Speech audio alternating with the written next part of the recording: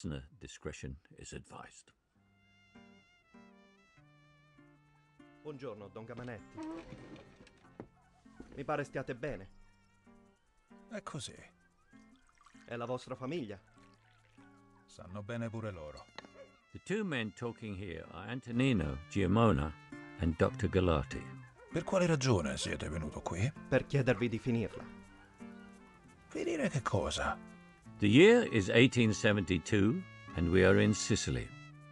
Giuseppe Galati, a doctor from Palermo, has just inherited a 10 acre citrus grove from his late brother in law, who died under suspicious circumstances. But instead of booming like every other farming business in the area, it is destitute. And something just doesn't feel right. Dr. Galati, in a final act of desperation, has decided to come and talk to the local godfather, Antonino Giammona.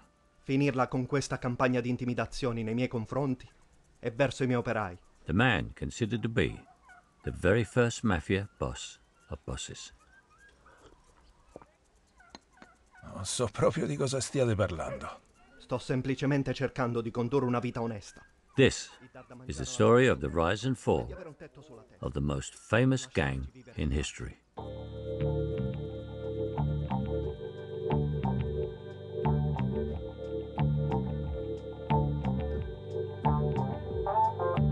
In the last episode, we were introduced to the Italian American Mafia, a franchise version of a centuries old organized crime unit, which began in Sicily in the 1800s. By the 1990s, these men of honor had become corrupted. The best of them gone, replaced by those who succumbed to ego, pride, and profit. The world thinks it knows all about the mafia.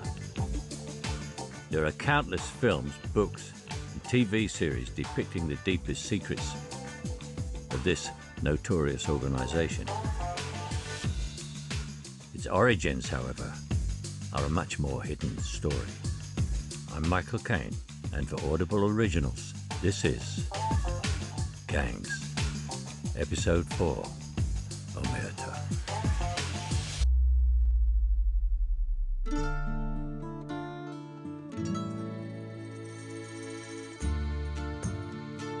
Sicily is just off the toe of the boot shaped Italy. It is the biggest island in the Mediterranean Sea, a land rich with history and tradition, a place where art and culture intertwine with awe inspiring natural beauty. I'm not paid by the tourist board of Sicily, but if that doesn't sell it enough, it's old King Frederick II once said, I don't envy God's paradise because I'm well satisfied to live in Sicily. And it was in this paradise on earth that Dr. Galati's beloved brother in law, a respected and popular guy in the community, ran his successful business, a lemon grove, and lemons were booming. It was a shock to everyone when he suddenly collapsed out of the blue. The local doctor said it was a heart attack brought on by stress. The distraught Galati came in to handle affairs at the farm. Already devastated at the loss of a close friend and family member, he found something curious. Something that didn't make any sense. He found that the business was in a disastrous state. John Dickie is a professor of Italian studies at University College London. He's written many books on the Sicilian mafia, so he knows all about this particular story of the beleaguered lemon farm, which should have been, shall we say, a more fruitful enterprise. I mean, it was the result of a lot of investment, irrigation channels, it even had a modern coal fired steam pump to pump water, and so on. But it wasn't making any money. Lumbered with this struggling business, Galati's at real risk of going broke, and he couldn't work out what had gone wrong. Lemons were the most profitable industry in Sicily, and with 10 acres on the farm, this should have been a breeze. Because to truly understand Sicily, we really do have to get to understand lemons. The lemons were an important source of income for the Sicilian economy. That's Antonio Nicaso, a professor at Queen's University in Ontario. He's written more than 30 books about the mafia, and he really knows his lemons too. Since the British Royal Navy discovered that lemons were a cure for scurvy, a disease caused by lack of vitamin C, lemon started to be in great demand in Europe and in northern South America. They sold particularly well in New York. Today, of course, they're grown all over the world, but back then, Sicily enjoyed a monopoly on the market, and the whole country was profiting.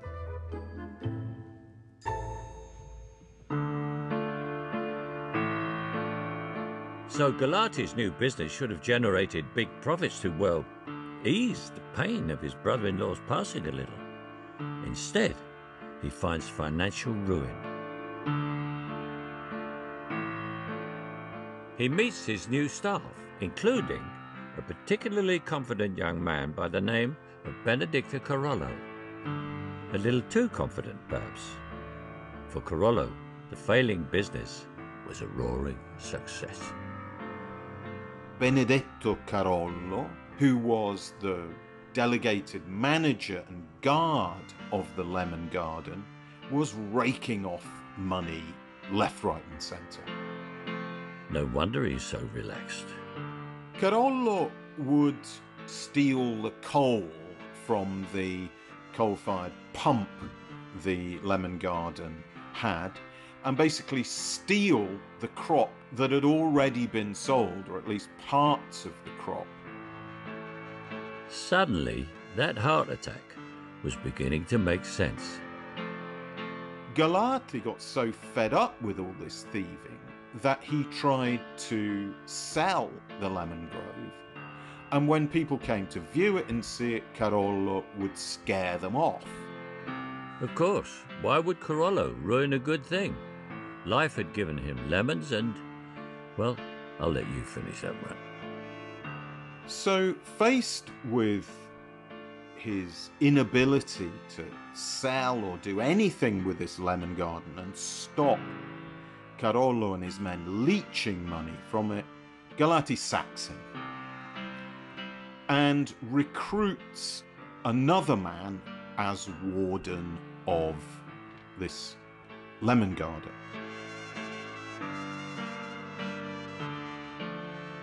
And the farm went on to become the great success it always should have been for Galati and his family.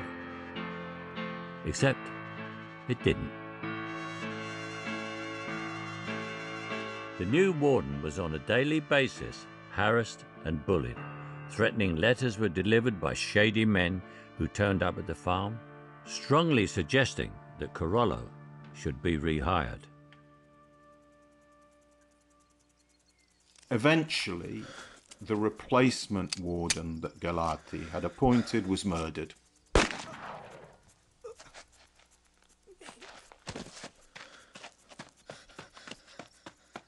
He was shot in the back near the lemon garden itself. So Galati was left with a vacancy and a rather hard job to sell to a new recruit, you would have thought, given the circumstances of the last employee's um, departure.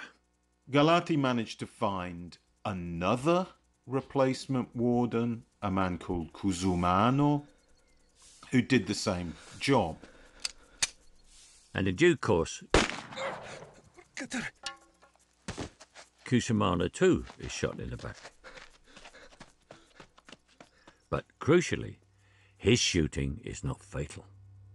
And he decides to give evidence, and he gives a testimony because he saw the man who shot him was Benedetto Carollo, the original warden.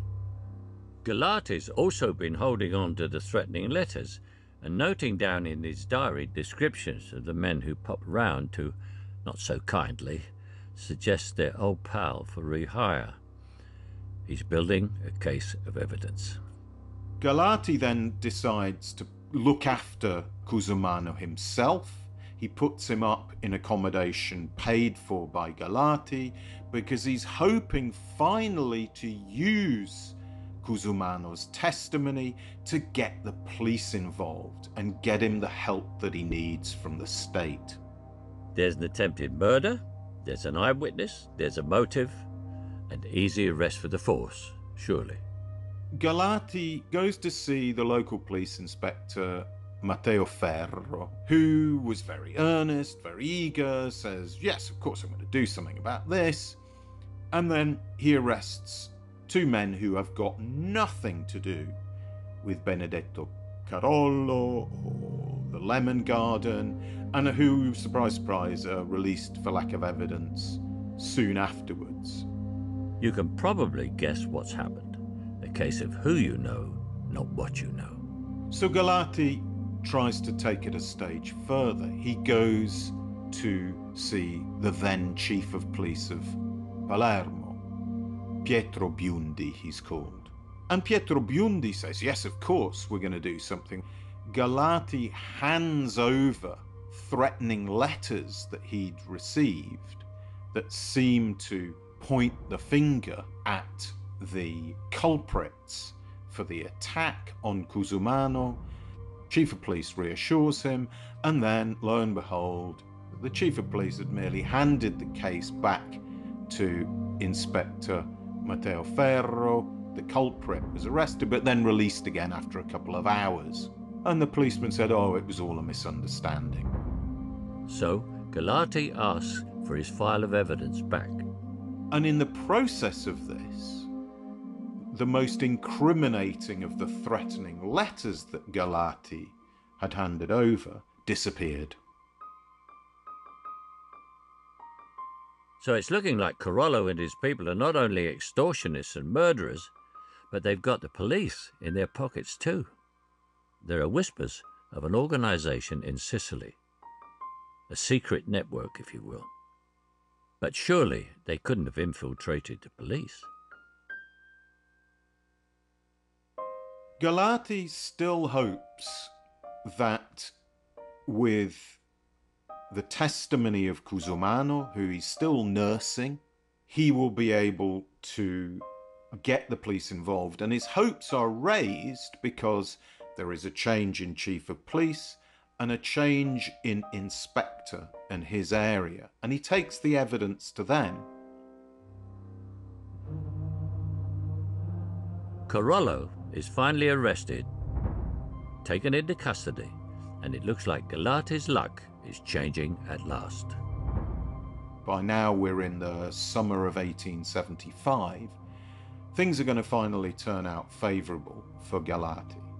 But then his patient, Cusumano, his warden, gets up, walks off, and is next seen having a celebratory banquet with Carollo. He's not going to testify because he's made peace. Yet again, this doesn't make sense to Galati.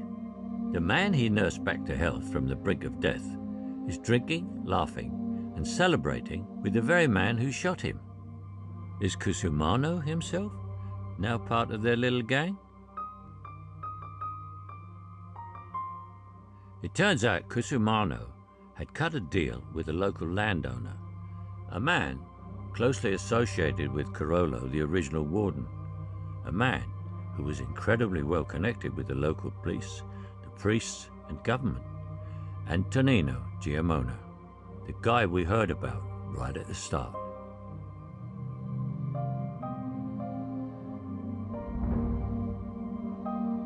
It dawns on Galati that maybe Giammona was at the center of this conspiracy. In his frustration, he wrote a letter to a friend, a letter that we still have today, and the first physical evidence we have that this secret society even exists. He named the men who harassed him as men of honor, the mafia. By the time they have a name, they're already too late to stop.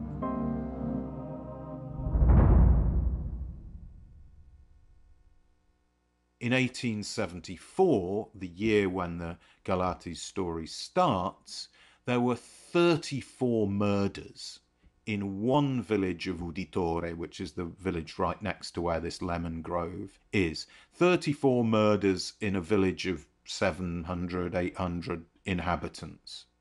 The mafia was already here. It's obvious why the mafia are targeting lemon farms. It's the money, of course. But by the time we even know who they are, they've already infiltrated trusted officers of law and order. And to understand how they achieved this, we need to brush up on our Sicilian history. Sicily was known in the first half of the 19th century as a cauldron of revolution. Before 1871, Sicily was independent from Italy. The nobility had owned most of the land, but in 1860, during Bloody Revolution, Sicily became unified with mainland Italy. After unification, much of the land and wealth was redistributed to the church and to private citizens. So, for the first time, land was subject to market forces. Ownership renting could be passed on. Amid this upheaval, a group of like minded people joined together and saw an opportunity. An opportunity to take advantage of the chaos around them.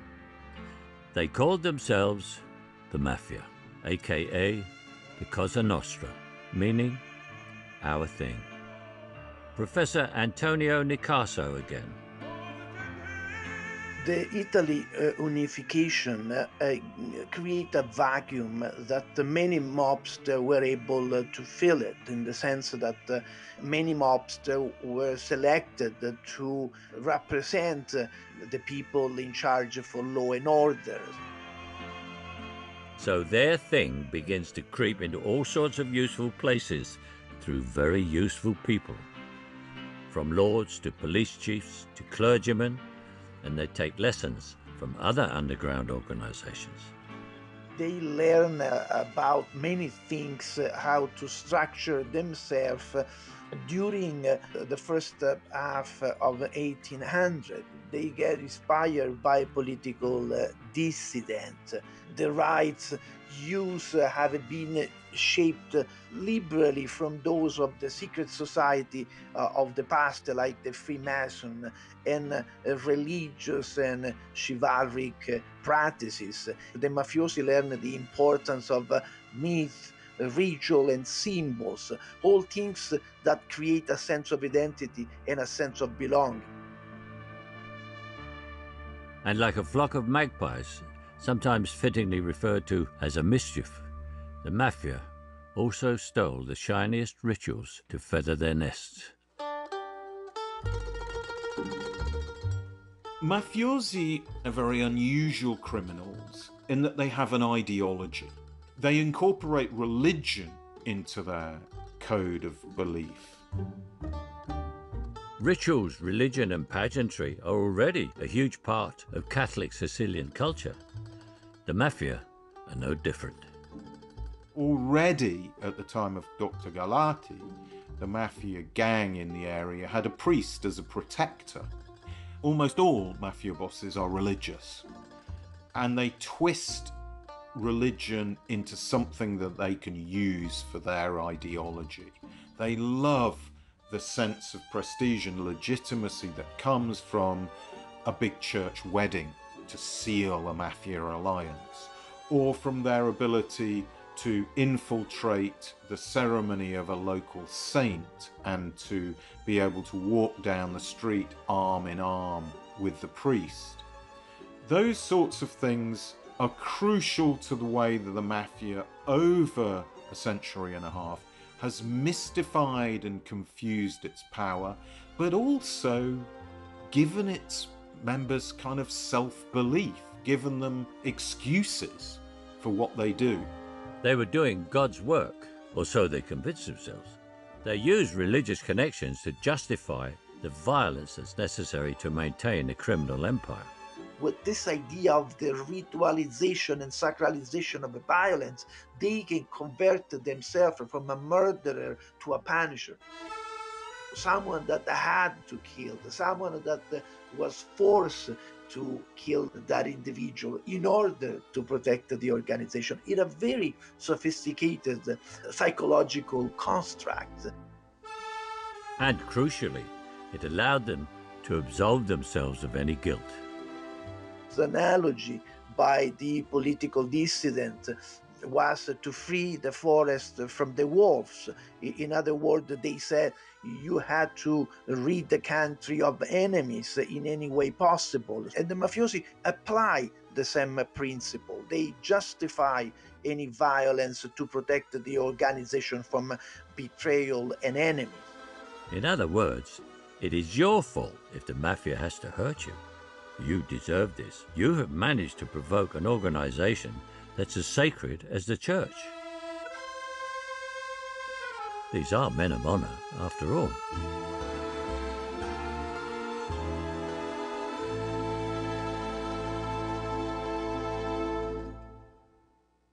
This is where we see the beginning of the hallowed ritual, the Mafia initiation.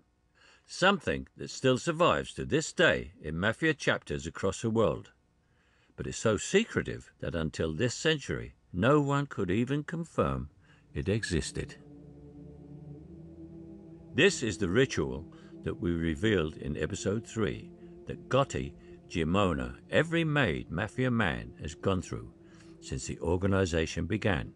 And once you know where the mafia came from, the meaning behind this ceremony begins to make sense. John Dickie.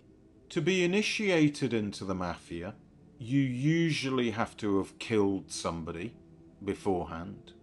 You will have been watched over and judged carefully.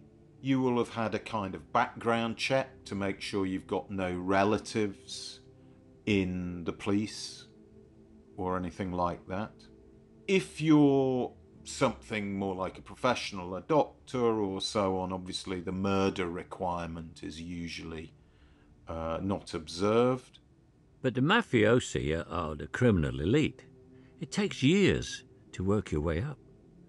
You might be in your 30s before your criminal CV is sufficiently full.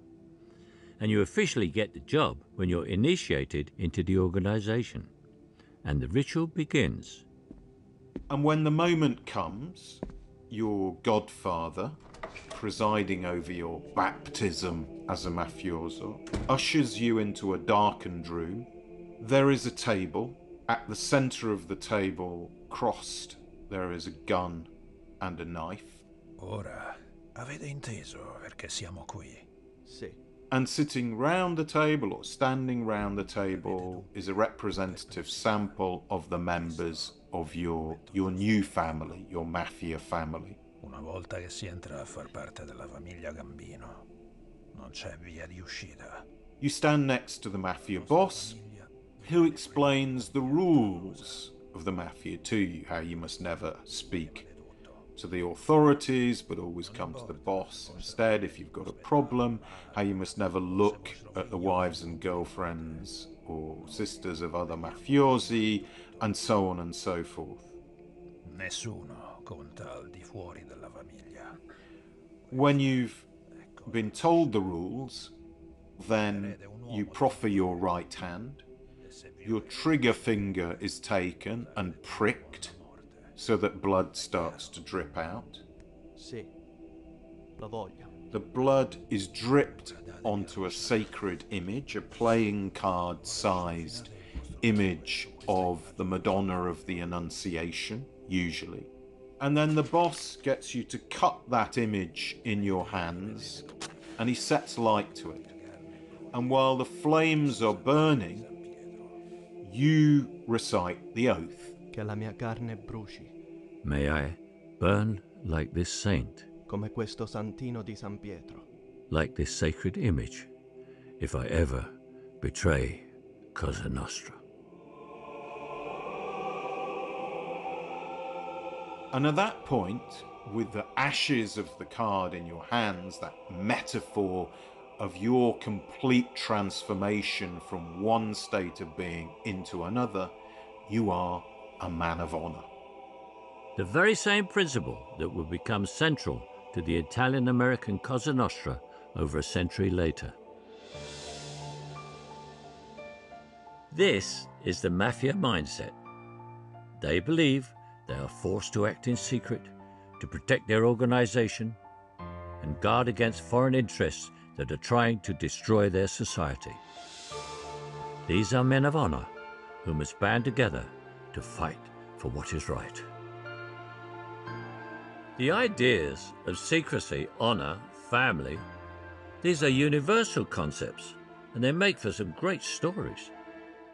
Most notably, The Godfather. The Godfather really leans into this idea of Italian organised crime as secretive, mysterious, and enigmatic, and therefore glamorous. Ellen E. Jones, our film and television expert. It really makes their lives seem noble and motivated by familial duty and respect and honour and all these admirable traits. We know from the previous episode that Gotti and his pals in 1970s New York were certainly influenced by the film. Why wouldn't they be? It was a cinematic masterpiece depicting the ancient fraternity that was central to their lives. Despite how removed the American organization had become from its origins in Sicily, it was a reminder of their roots. Francis Ford Coppola, the director of The Godfather, was heavily influenced by the mythology surrounding the original mafiosi. Coppola wanted to make a film that looked gorgeous. It's painterly, it's kind of allowed to linger. The storytelling takes its time. It's both classical and respectful it's much more rooted in opera and theatre and Shakespeare, you know, these big Shakespearean tragic characters. Just like the mafia portrayed themselves good men forced to do bad things to protect their family. Very Shakespearean. Those scenes of, of Michael Corleone walking through rural Sicily with, you know, his new Sicilian friends and spotting his first wife for the first time and their wedding and everything, which is essentially a tragedy about a great powerful man brought low by a tragic flaw, and all these great classical themes of betrayal and family. A plot recap for anyone who's forgotten, and a spoiler alert for anyone who hasn't seen it yet, although it's nearly 50 years old, so get a move on. Michael Corleone, a man forced to act to protect his father, returns home to Sicily where he reconnects with his romantic past, only for his new wife to be killed in a bomb meant for him. Hard times create hard men. And these hard men create dynasties. The Godfather trilogy is a story of the mafia, but it's also a story of immigration. It wasn't just lemons that were shipped from Sicily to America, it was a lot of Sicilians too. People with values, with codes of honor, they bring with them from the mafia. We've already seen how the Corleone family is disrespected by a lot of the American establishment because they're immigrants. So this is a way of kind of showing the noble narrative of the immigrant that they've brought these values from the home country and they're bringing them to America and they're building something that's bigger than them with it. We do know that Antonino Giammona the spider at the center of Galati's web of troubles, had two sons sent to America in the late 1800s. And so, the Sicilian mafia's legacy spreads out across the Atlantic. One of those things they're passing down are these these values and, and honor codes that might not totally chime with the laws of the land that they find themselves in. The Mafia didn't just create their own mythology. The American chapter even had a hand in the Godfather movie. And true to form, they even tried to control that too.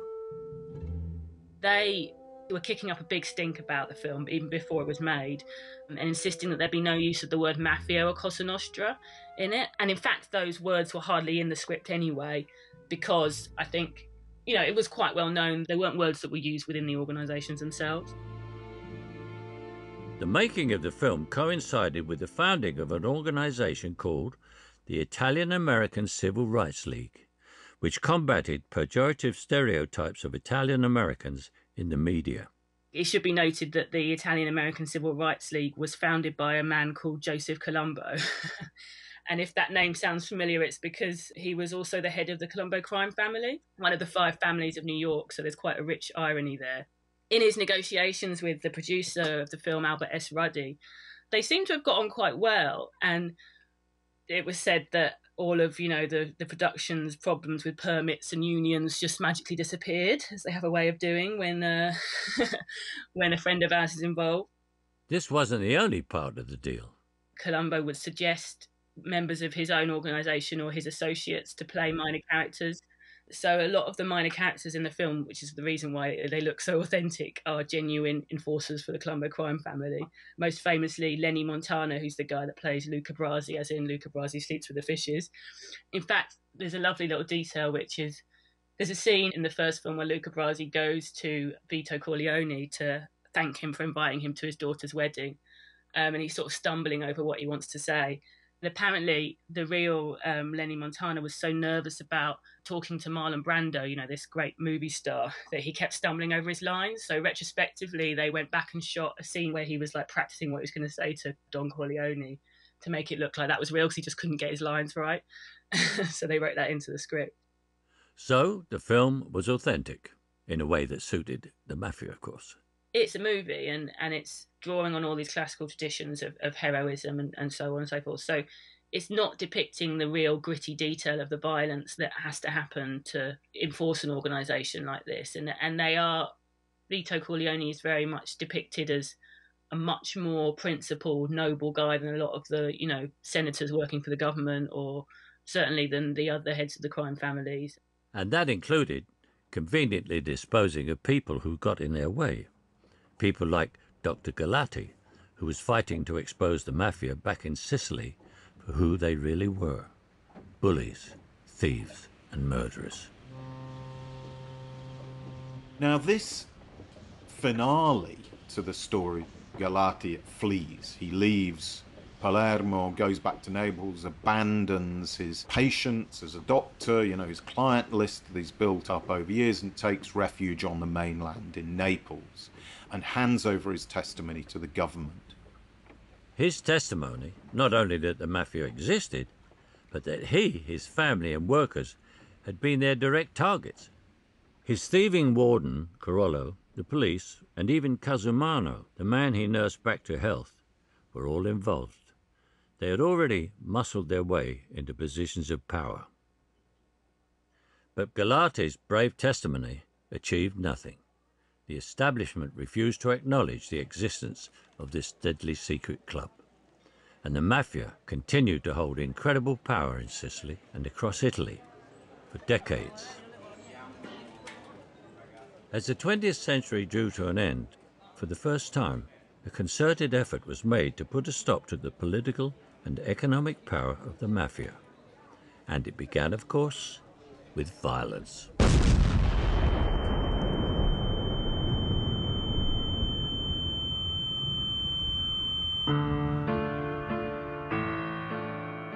There was a brutal war in the early 1980s which saw an alliance of mafiosi grouped around the family of Corleone.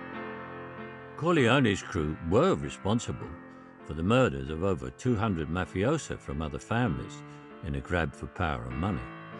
Because, of course, as we know, these were not men of honor, no matter how you dress it up. They were brutal gangsters the state began to respond to this increased level of violence, and the mafia responded with violence to the state. Like a wounded animal dangerously lashing out, people were sick of it. For the first time, they acted en masse. You had policemen, magistrates, judges, journalists, ordinary citizens who'd stood up to the mafia even some mafiosi decided enough was enough. The mafia war of the early 1980s produced a man called Tommaso Buscetta. And when many of the members of his family were murdered in this mafia war, he turned state's evidence. Breaking omerta isn't anything new. Reneging on the code of silence even has a name pentito, meaning repentant. But this time, the Italian authorities wanted to do something about the mafia once and for all. Buscetta convinced them he had all they needed to bring the entire organization down.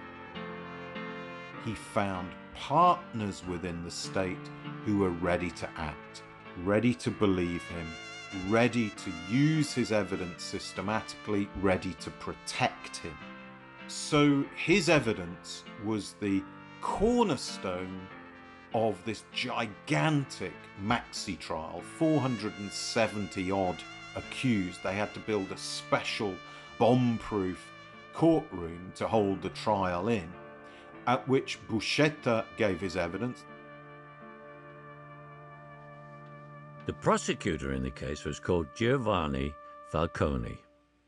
He took evidence from Buscetta for 45 days. He found out everything the initiation rituals, who was in the mafia, and who the mafia was buying off, including politicians and police officers. The trial lasted two years. When it finally ended, 338 mafiosi were convicted. Giovanni Falcone went on to work at the Ministry of Justice, creating investigative and policing and prosecuting systems specially designed to beat the mafia. The Sicilian mafia could only react with violence. A flagrant, violent, savage re advertising, reassertion of authority. The story was about to explode.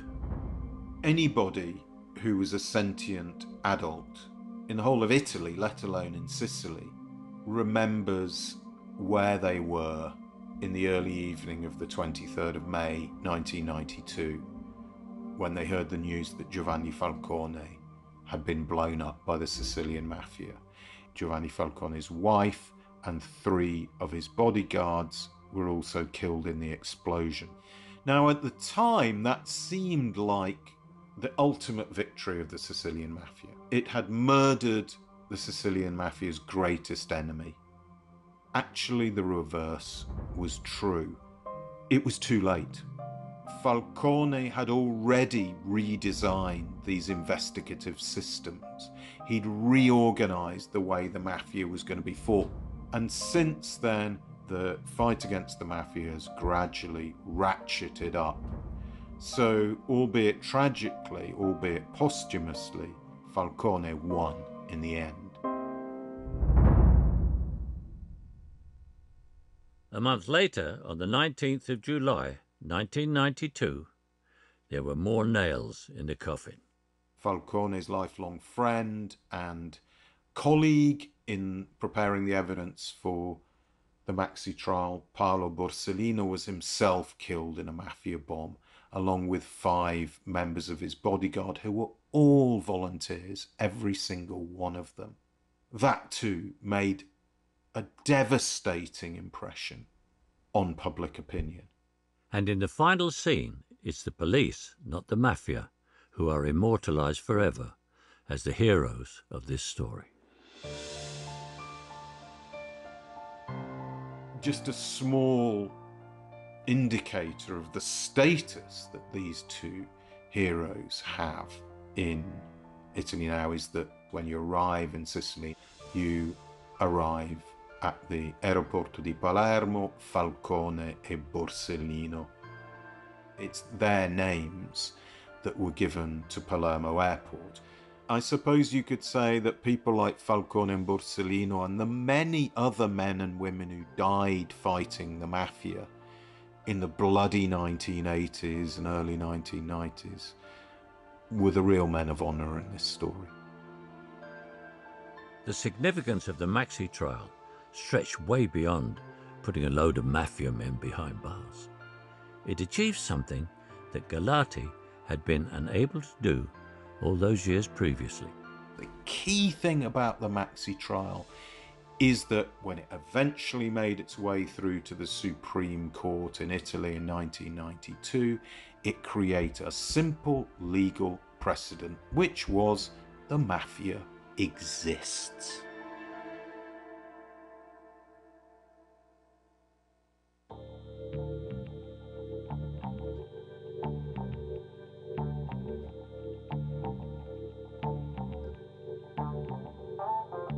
So, the Omerta Code had been broken.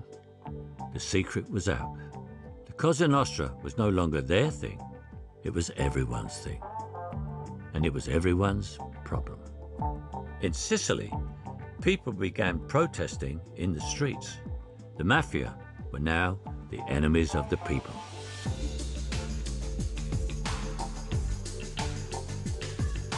Once their true nature had been revealed and the myth stripped away. People finally stood up to the mafiosi and exposed them for who they really were violent crooks and domestic terrorists. Brave people stood up to the mob, and many paid with their lives.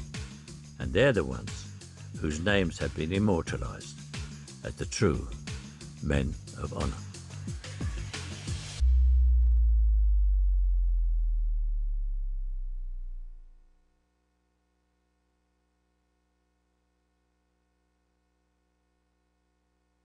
Before we start, a little warning that there's some bad language, adult content, and quite a lot of violence in this series. No spoilers, but it is about gangs after all. Listener discretion is advised.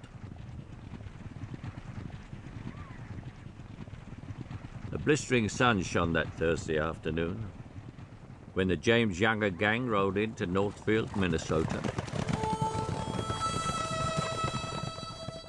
This bustling mill town is over 500 miles from their home in Missouri. It's September the 7th, 1876, the year the United States celebrated its 100th birthday. The country had just been rocked by a violent and bloody civil war, which pitted Americans against Americans, neighbors against neighbors, but you'd never know it if you were strolling through the lively streets of Northfield on a day like today.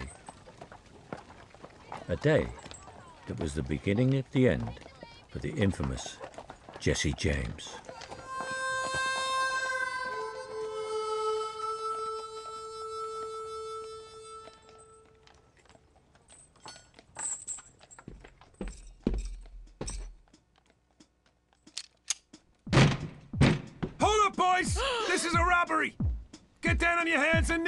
Gonna get hurt!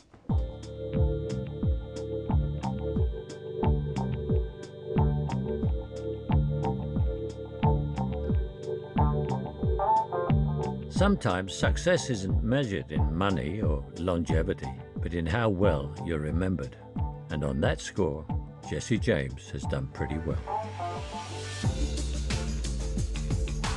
Like Britain's very own Robin Hood, he's remembered for stealing from those with a bit too much and giving to those who need more. And people loved him for it. Many still do. He was a real life gunslinger, an outlaw, and he roamed the Wild West with his crew, the James Younger Gang. Well, he did until his good friend Robert Ford shot him in the back. But we'll get to the truth behind that particular story later. I'm Michael Caine, and for Audible Originals, this is Gangs, Episode 5 Robbing the Rich.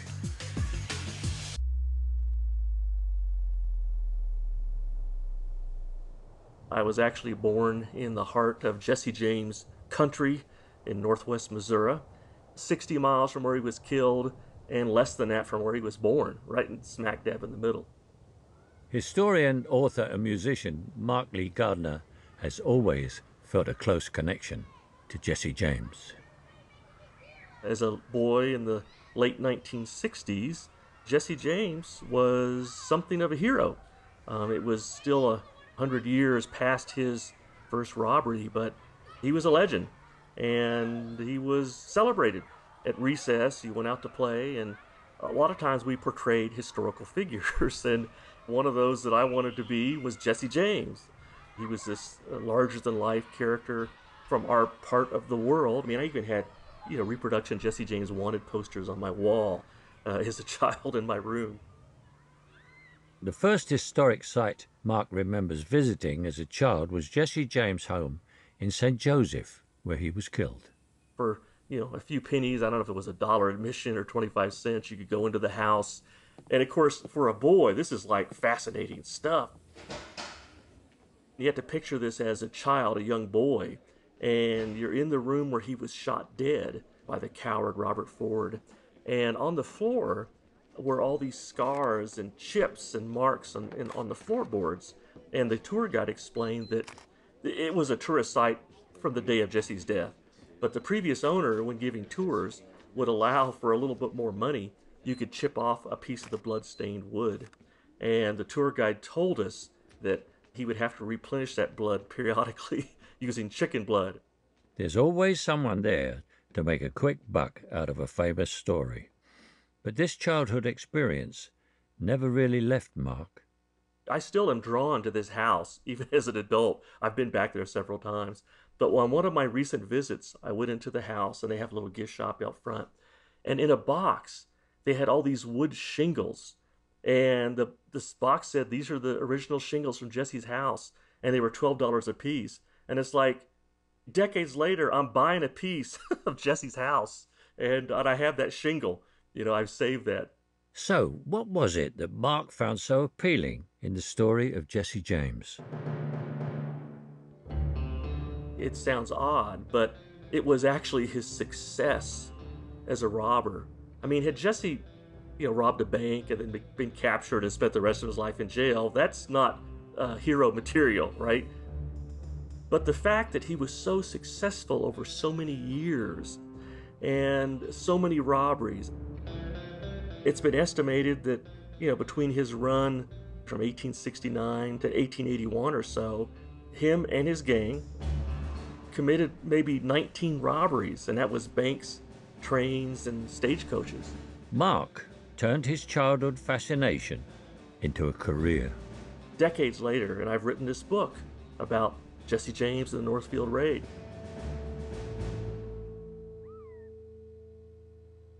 Here's what happened on that September day in Northfield, Minnesota. It was around 2 o'clock in the afternoon, and most people in Northfield were going about their normal things when gunfire suddenly breaks out in the streets. Somebody starts screaming, They're robbing the bank! And another one yells, Grab your guns, boys! So the townspeople are running to the hardware stores or grabbing guns and ammunition. Let's get them! As the locals start to shoot, two of Jesse James's gang stationed as lookouts are sitting targets. These men are out there, literally a live action shooting gallery down Division Street, but they don't flee, they don't flinch. They're waiting for the men inside the bank. They're going to stay out there as long as their buddies are in there. Looks like we stirred up a hornet's nest here. What do we do, Jesse? We shoot them back. And it's an amazing firefight. Uh, the citizens are shooting shotguns, they're shooting rifles. Those that can't get a firearm actually are picking up rocks and throwing them at the gang. Hell, we're getting shot all to pieces. Hurry up in there. Come on, let's go! It's taking you long enough. They grab what money they can. Finally, the men come out, jump on their horses, they gallop out of town, they escape from the town, and the angry hornets of townspeople that are firing after them. And what begins then is one of the greatest manhunts in United States history.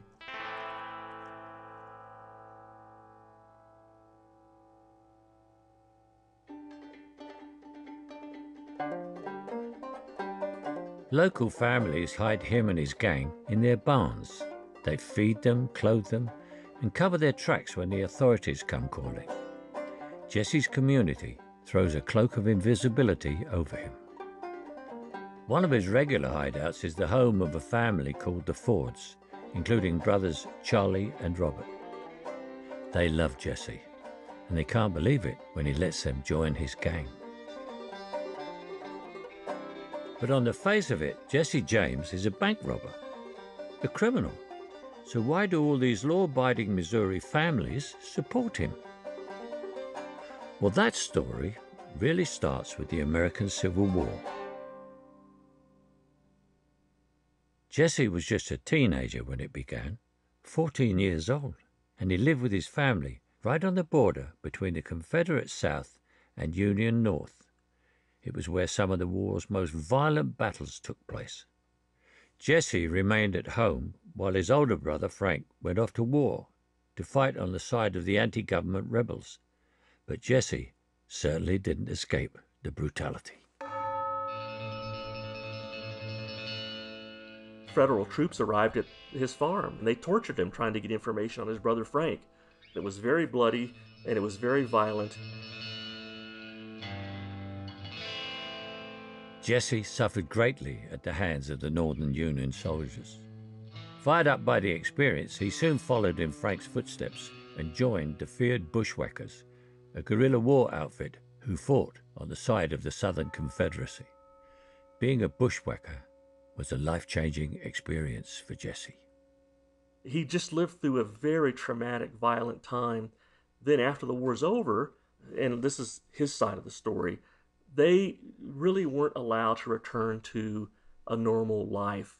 Some of these young men who had fought were uh, disenfranchised, and so they turned to the one thing that they were really good at raiding, running into towns, surprising the people and, and the bankers and the tellers, the trains, and getting away with a lot of money.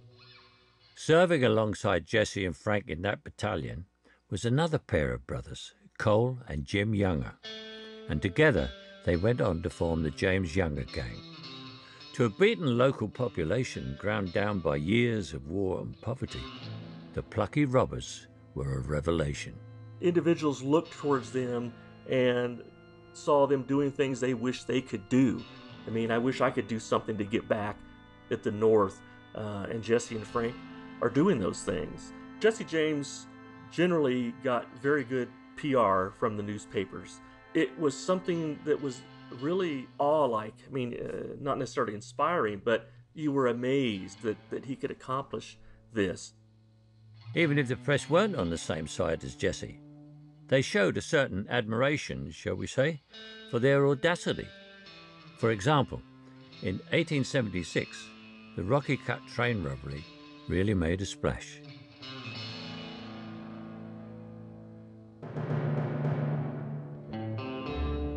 They got away with $10,000 of cash, and there was a lot of press. I mean, they took all kinds of eyewitness accounts. I mean, people were fascinated by how this robbery was pulled off and they got away clean. And there was a posse that couldn't track them down either. But one of the newspapers commented that no one was hurt except for the express companies. You know, the express companies, they got lots of money, and these guys pulled off this daring thing and didn't harm a single individual on the train. And isn't this exciting? And wasn't that an adventure? And nobody lost except these big companies that are wealthy. So that makes it okay. So that was Jesse's secret to success and immortality robbing from the rich. Fat cats who in the public's eyes could afford it. He was a hero of his time, but the legend of Jesse James endures to this day. He was on TV and he was in movies, comic books, and before comic books, of course, dime novels. There were probably more dime novels published about Jesse James than, than really any other historical figure. And they're all, you know, very garish and romanticized, but Jesse is always the hero. And even though the writers tried to point out that, you know, what he did was wrong, but his heart was in the right place. Nowhere is this more apparent than in one of America's most famous folk songs. The Ballad of Jesse James, sung here by Mark himself. If Jesse was your friend, on him you could depend. If it be true, I am sure. He always wore the belt that would equalize the wealth. He would rob the rich for the poor. It was his brother Frank who robbed the Gallatin Bank and carried the money from the town. It was at that very place They had a little chase, for they shot Captain Sheets to the ground. Jesse had a wife, the pride of his life. His children, they were brave. But the dirty little coward that shot Mr. Howard has laid Jesse James in his grave. The ballad itself tries to build up this image of Jesse as a family man because part of the chorus is Jesse had a wife, the pride of his life, and his children, they were brave. It's building sympathy for Jesse James. His wife was called Zerelda Mims, known as Z. She was mother to his two children, and she was also, um, his cousin. He has a dramatic love affair with a cousin, but you know, I suppose we've all been there. I'm just kidding. Lydia Cooper is an assistant professor of English at Creighton University and has written extensively on Jesse James, his life of crime, and his whirlwind love affair with Z. He falls in love with her while convalescing from a near fatal wound. The story writes itself. It's so dramatic and romantic. And then he falls in love with her, and they go off and marry and have a couple children. And he has to go and fight for his family, fight for his homestead, fight for his community. And of course, community is, is very kinship oriented around this time. And when the newspaper journalists came calling for interviews, Jesse was the head of the game. He was very intentional in how he crafted that image of himself as a highwayman, a gentleman robber. He's conventionally good looking. You know, I'm not sure how much of this was apocryphal, but he would often have these sort of witty banter discussions with the women whose jewels he would be taking and flirt with them. He's this dashing Robin Hood esque character who is described as a highwayman of the West. So he was very much aware of the folk hero narrative that he was playing into. And part of that mythology was a newly popular genre of fiction, pulp western novels, stories about handsome highwaymen. There's this author, Edward Wheeler, who publishes this series of pulp dime novels about Deadwood Dick called The Prince of the Road. The Dashing Dick first appeared in print just five years before Jesse James died. Wheeler's very much picking up on this mythologizing of a highway robber and giving them attributes of you know that sort of the, the myth of the, the robin hood character. So you know deadwood dick obviously is discovered to come from a well-to-do family in the east who's fallen on hard times and that's how he ends up in this life of villainy. And so we see some of those tropes getting picked up in the earliest dime novel versions of jesse james as well. And the pulp westerns themselves drew on stories of british highwaymen 17th century gentlemen robbers who would stop stagecoaches at gunpoint and rob noblemen of their riches.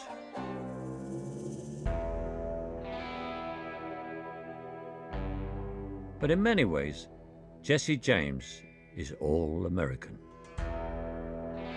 His life spans a really interesting time period during a moment of identity crisis in the United States also during the extremely short time period that was the entire existence of the so called Wild West. The Wild West. It's a term that takes me right back to spaghetti westerns of my youth. It sums up that era of pioneering Americans from the East Coast striking out into the unsettled parts of their continent. There was almost a religious fervour to their expansionism. It was their manifest destiny, as they called it, to spread democracy and capitalism across the land. In reality, the Wild West era only lasted about 30 years, but it's become a staple of American storytelling, especially in the cinema, and Jesse fits right in. Jesse, such a perfect embodiment of the myth of the Western outlaw. And of course, one of the first people to play Jesse James is Jesse James Jr his only son. He played his old man in the 1921 film Jesse James Under the Black Flag. Jesse's life has become the archetype for lead characters in westerns. An anti hero with a heart of gold, striking out against the big bad world. And through rugged individualism and those good looks, he comes out on top. and in doing so, he becomes part of the American story, the iconic image of a lone rider with a cowboy hat. Every American president has had at least one photo op with a cowboy hat, which is an interesting visual. So it's one of those things that is interesting because the idea of the West and the Western hero was immediately fused to the idea of what it means to be American. And according to Lydia, what it means to be an American in the Wild West era is a person who is sworn to good, who has this deep moral, abiding integrity, and yet, because of the lawlessness and the wildness and the savagery of the place, may have to break a few rules. So America may sometimes get some things wrong, but gosh darn it, they have a heart of gold. But this classic story transcends America and Jesse James. It's a tale of the little guy who stands up to the man, just like Robin Hood and countless other folklore heroes across the world.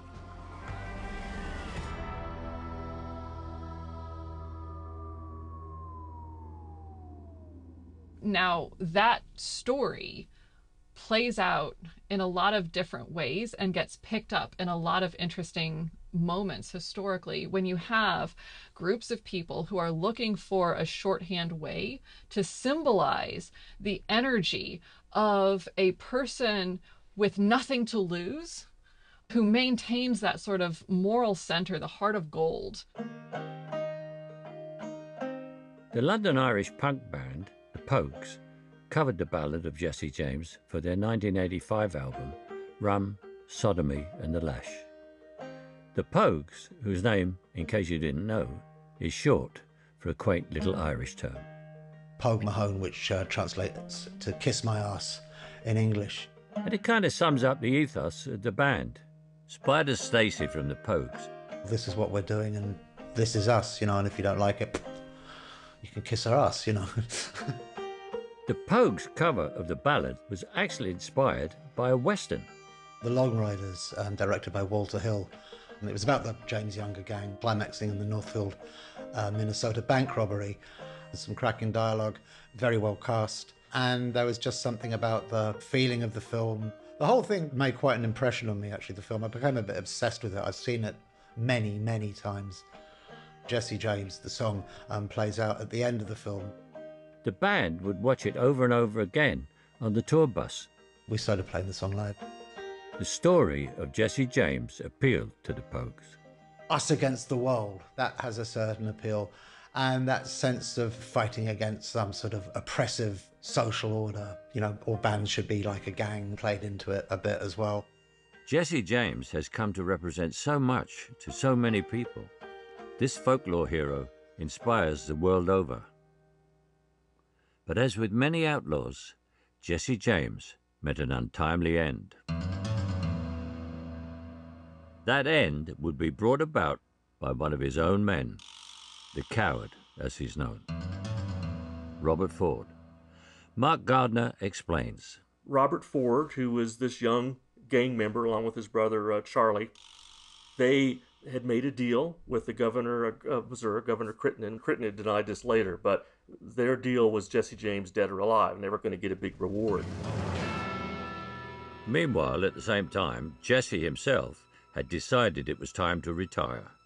He's ready to jack it all in and hang up his holster. Jesse James had decided to give up the outlaw life. He had turned a new leaf and he had promised to his wife that he was going to become an honest man and, of course, try to live decently together with them for the rest of his life. On the 3rd of April, 1882, the 34 year old Jesse along with Charlie Ford, Robert Ford, Zee, and Jesse's two children, are all in hiding. The cops are hunting for Jesse, dead or alive. The three men are in the living room discussing plans for retirement, dreaming of a quiet life, settling down with their families. Little did Jesse know that his fellow gang members, the people he trusted the most, had other plans for his future.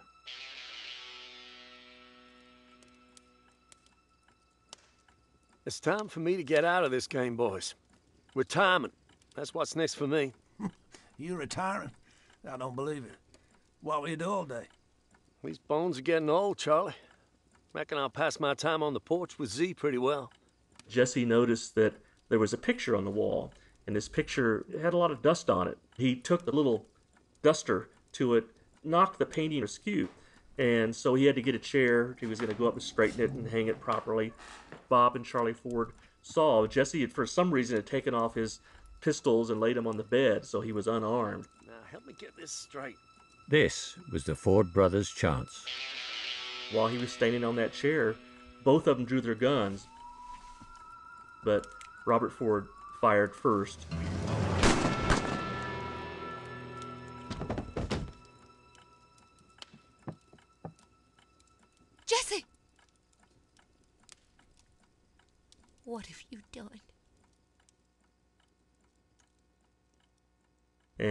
Just took that one bullet to the head, and Jesse tumbled off. And that was the end of Jesse. They shot poor Jesse in the back. They're the heinous murderers, traitors, turncoats that have done Jesse in just at the time when he had seen the light and was getting ready to turn a new leaf. He was betrayed and murdered by a man who was like a brother slash son. And when the news broke, there was a public outcry. Immediately, people start making physical pilgrimage out to try and find artifacts from Jesse. His funeral became this event that final punctuation to a life that was already dramatic. Bob Ford immediately cashes in on the drama. We have, you know, Jesse James, the real life man, real life murdered by Bob Ford, and suddenly we've got representations, performances of the assassination of Jesse James picking up almost right away. Robert and his brother Charlie performed reenactments of the assassination of Jesse James for sold out audiences in cities across America. Robert thought he would be treated as a hero. He just had these illusions of grandeur and, and celebration that he had killed the notorious Jesse James and and most people even today just saw it as underhanded and dirty. People were horrified at the way the brothers were cashing in on the murder. Unsurprisingly, their lives ended in tragedy too. Charlie Ford committed suicide.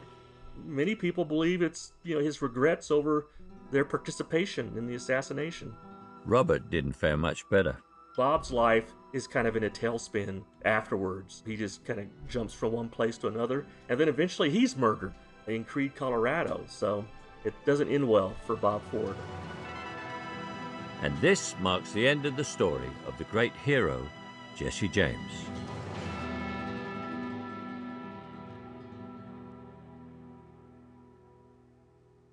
But not the end of ours, because there's much more to the Jesse James story than first meets the eye. I bought into the whole Jesse James myth.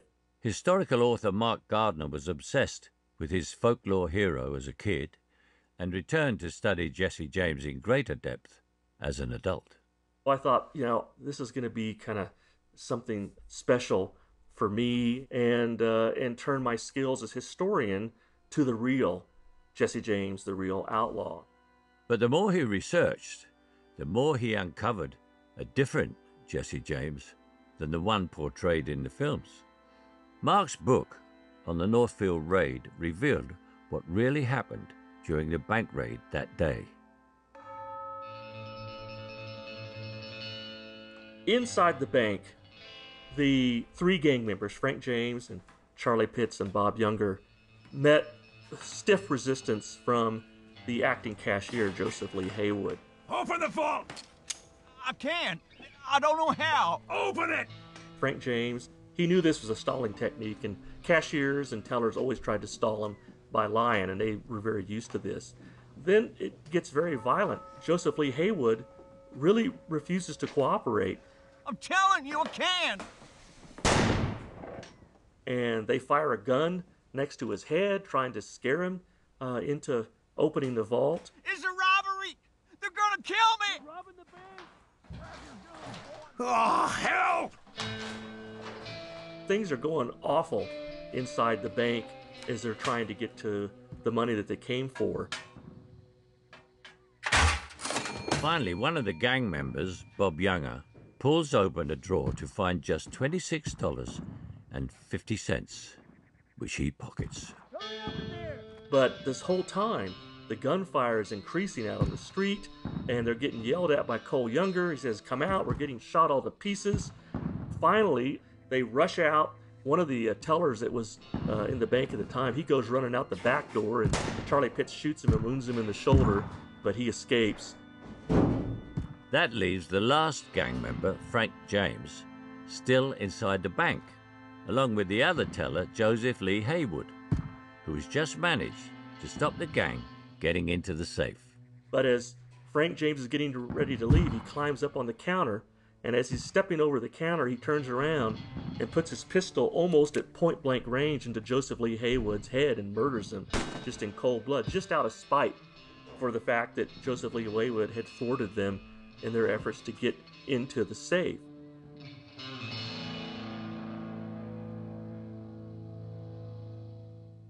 Not only did they murder an innocent man, but they didn't even pull off a successful job. One of the ironies, I guess you would say, of this robbery, not only did they just get $26.50, but that bank safe itself was open. It was not locked. And had Frank James gone ahead and gone into the vault and not wrestled with Joseph Lee Heywood and tried to scare him, and had he just tried that handle, he would open it up and there was $15,000 in cash. Meanwhile, outside the bank, two members are dead, laying on the streets bleeding, and some of them have horrendous wounds from this shootout. They gallop out of town bloody, disheartened, and with only $26.50 to show for uh, their efforts. The robbery was a disaster. Due to the brave actions of Joseph Lee Heywood and the townsfolk of Northfield, Jesse's old gang had been destroyed, and he had to rely on untested new recruits, like the Ford brothers. And despite the romantic myth of robbing from the rich, the truth is that back then it was a normal man on the street who lost out in these bank raids. This is a time before there's federal deposit insurance so all these townspeople that have money in the bank know they're not getting it back. So it, it, was not all the glory and romanticism. And on top of it, they didn't give their money to the poor. They kept it for themselves. And that's not the only example where fact didn't quite live up to fiction. One of Jesse's favourite targets was the Pacific Lines. Trains carrying the loot that the boys liberally helped themselves to. One of the ways that he fought the man was robbing Union Pacific lines when they came in with their payrolls for Union Pacific employees. So he was literally robbing the wages of working class Americans and he was not disseminating them to other people outside of his immediate family and the members of the gang. Not so much of a working class hero then, huh? there is this myth of Jesse James that is so applicable to people who are struggling against enormous power and enormous wealth and who believe themselves to represent those who have no voice. And at the same time, Jesse James, the historical figure, is much more complicated than that. And he was much less, in real life, interested in representing the common people.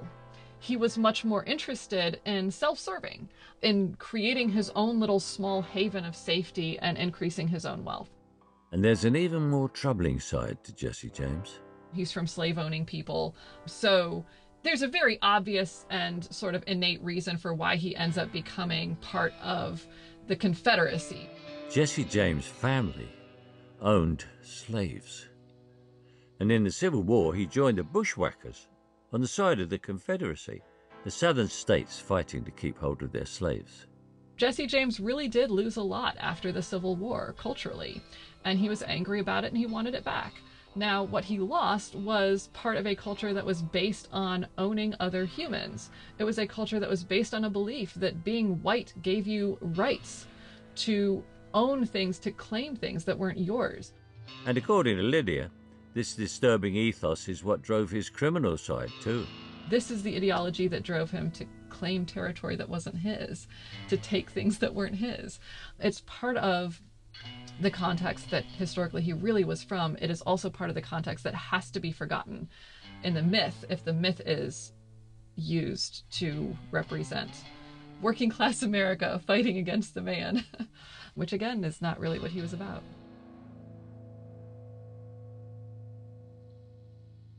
And not only were the bushwhackers supporters of slavery, they were also infamous for their brutal tactics against the North.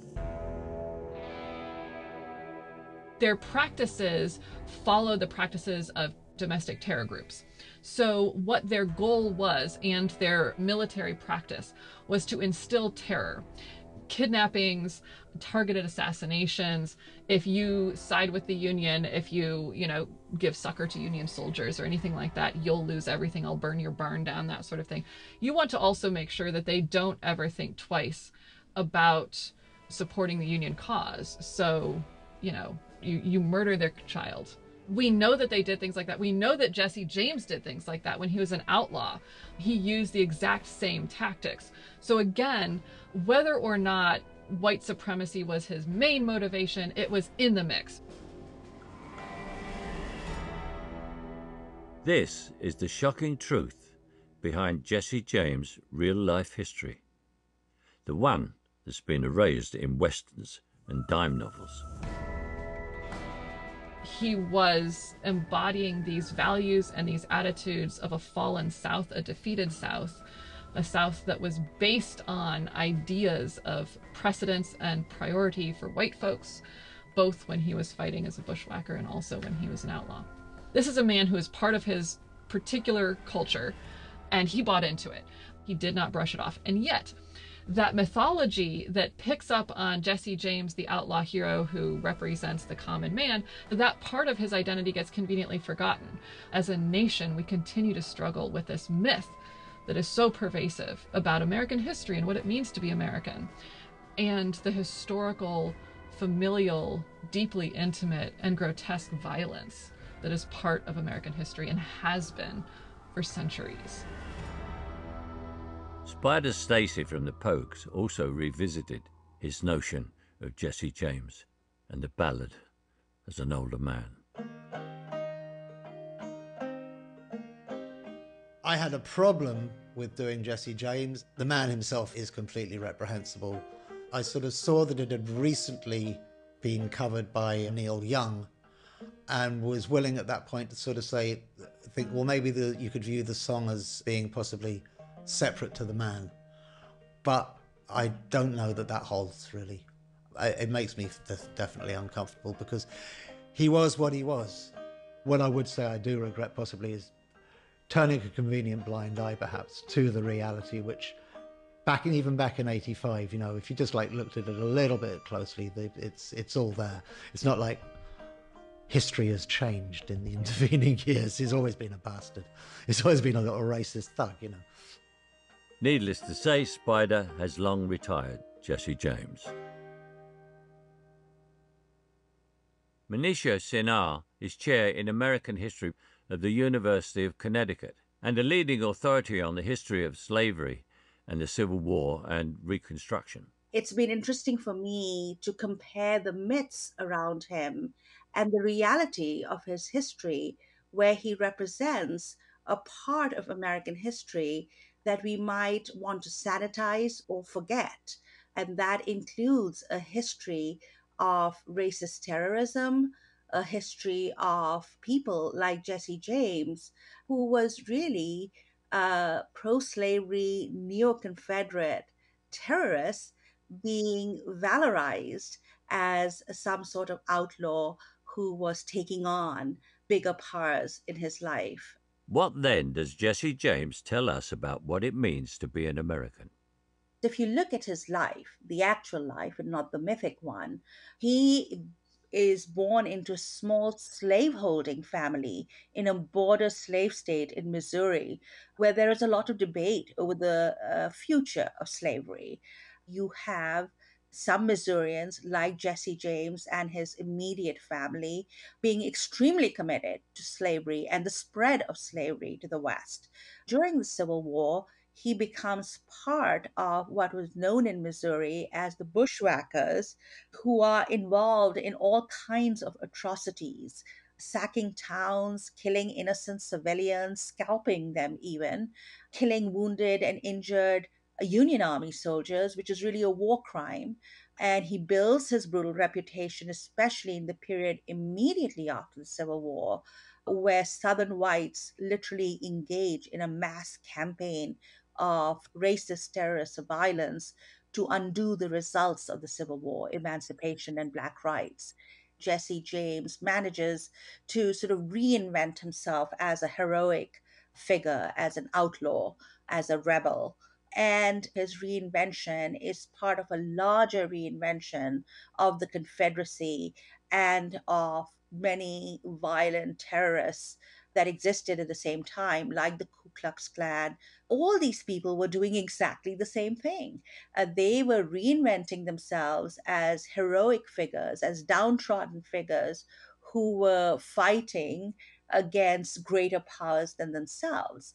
And by glorifying these violent, racist, terrorist figures as somehow heroic, individualistic figures like Jesse James, or as uh, people who have somehow saved the South from what they called, quote, Negro rule, which really just meant that black people were allowed to vote because they didn't really rule anywhere as such. If we ignore the whole Jesse James story, then we also ignore the real story of America. And so when we look at Jesse James' story, we need to put his story in this context, in this broader historical context of the Civil War and Reconstruction. And then you can understand why is it that today we get this mythic narrative about him as opposed to the actual historical facts. And this is a legacy that the United States is still grappling with. Uh, you know, on the one hand, he sort of cultivates this image of himself as that lone gun toting cowboy. On the other hand, he also represents the violent and brutal aspect of the settlement of the West some of the biggest misconceptions about the so called Wild West, the manifest destiny, included the brutal subjugation and dispossession of Native Americans, the Plains Indians of the West during this time period.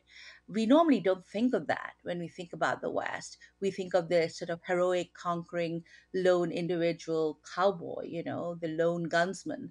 And actually, that image conceals more than it reveals about Western history because the actual history is actually pretty violent and brutal and based on vast systems of exploitative labor.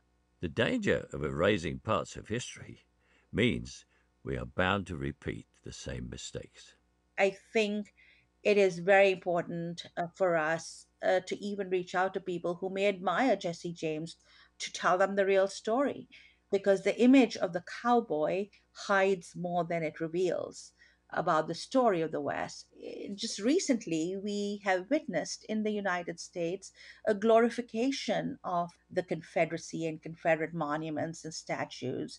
Uh, you really wouldn't see that in Germany when it comes to Hitler and Nazi flags and symbols. There are no statues to Hitler, but it's only after the murder of George Floyd and the takeoff of the movement for Black Lives that many of these statues have come down. So, this kind of unreconstructed, completely obdurate white supremacist strain has existed in the United States, certainly since slavery, the war, and its aftermath. But it is a very dangerous strain that at various times in American history has posed a real threat to the rule of law. It is important for us to know the real story and why I think there is no redeeming qualities to mythic representations of the past like Jesse James. Knowing all we do now about the real Jesse James, let's go back to that scene of his murder at the hands of the coward Bob Ford and let's replay it to find out what really happened. Jesse James, by this time, had become extremely paranoid. He was being hunted everywhere. And Jesse read in the paper where one of his associates apparently had turned evidence and was talking to the governor. And Bob and Charlie Ford started worrying that maybe Jesse has figured out that we're out to get him. And they were afraid that Jesse was going to kill him. On the 3rd of April 1882, the 34 year old Jesse, along with Charlie Ford, Robert Ford, Zee, and Jesse's two children, are all in hiding. The cops are hunting for Jesse, dead or alive. Jesse noticed that there was a picture on the wall, and this picture had a lot of dust on it. He took a little duster to it, knocked the painting askew, and so he had to get a chair. He was going to go up and straighten it and hang it properly. Bob and Charlie Ford saw Jesse had, for some reason, had taken off his pistols and laid them on the bed, so he was unarmed. They were waiting for Jesse to take his guns off. This was their chance. While he was standing on that chair, both of them drew their guns, but Robert Ford fired first, and it just took that one bullet to the head, and Jesse tumbled off. And that was the end of Jesse. People can hate the way Jesse was killed all they wanted, and I guarantee you people at the time did. They thought it was a horrible thing, this kind of, you know, government assassination of the robber. And the thing is, Jesse wasn't planning to retire at all. He couldn't let go of the criminal lifestyle, the buzz of the bank robberies, and the adulation of the press. But had Jesse not perished at that moment, he was going to go to Platte City and rob a bank. And we just don't know how many people or if one individual might have been harmed or hurt or shot and killed in that robbery. So probably Bob and Charlie Ford saved, certainly saved a crime, if not some kind of fatality, by ending Jesse's career. But in ending Jesse's career, they birthed a legend.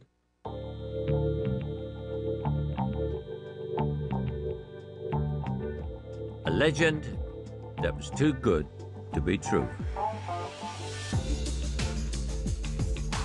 His success as the gangster hero was a lie, and one that's been told so many times that Jesse James has become a symbol for something greater than he ever was the all American Western hero in a cowboy hat. It's important to tell the whole story of our historical heroes, even if they turn out to be not what we thought they were. Because if we don't look at the whole story, we might get lost in the nostalgia for a time that never existed, for a time that was great.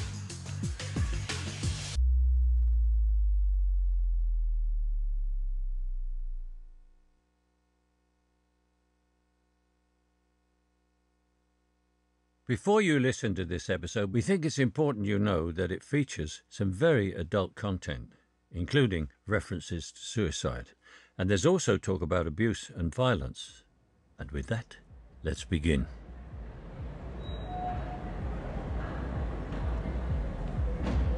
We're in London's West End. We've been here before, back in episode one with the Kray twins. That was in the 1960s and this is the 90s, but this bit of London is still all about having a good time. We actually used to go clubbing because everyone was young. But people turned a blind eye. And I'm talking about the West End scene. We used to get into nightclubs, wouldn't show no ID. Tracy.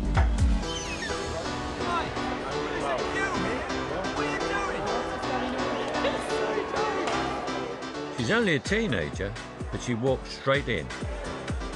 Mood of the whole place changes as she does.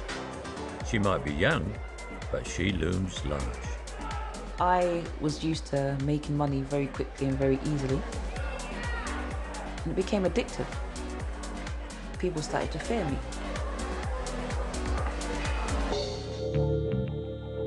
Tracy is the real life subject of this episode. You'll get to hear firsthand what life's like at the very top of a gang, how it motivates you, and how it changes you forever. But when Tracy was just 15 years old, She could walk into any club round here and be treated with the same mixture of respect and fear, just like the Krays all those years ago. For this final episode, I've decided to come home to South London. It's reported that the streets of London are becoming more violent by the day. Gang culture is on the rise. But is that true? Are today's gangs really more successful than ever? I'm Michael Caine. And for Audible Originals, this is Gangs. Episode 6 No More Heroes.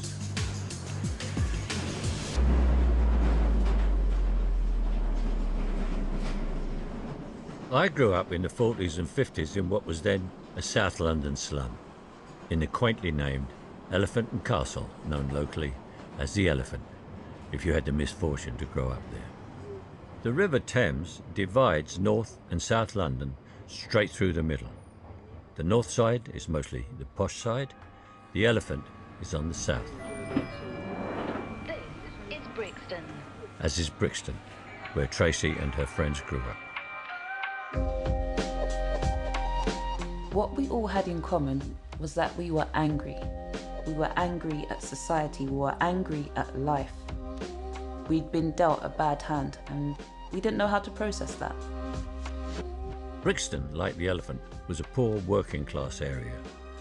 When you live in a housing state with a lack of opportunity, you look up to the older kids, the ones who rule the block.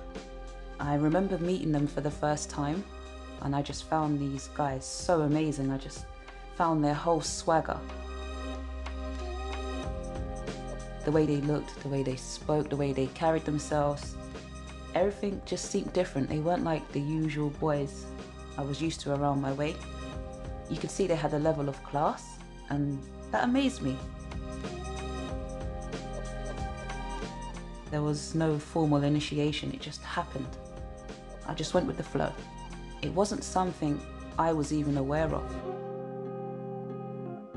This isn't the mafia. There are no family firms and sacred ceremonies. It's just friends hanging out, learning from each other, working with each other. The main source of income would generate from robberies, businesses. The thing is, we had morals. Things like seeing a lady on the street taking her handbag at knife point or at any point, that's a no go. So there was a certain honour among these thieves. Or so they thought.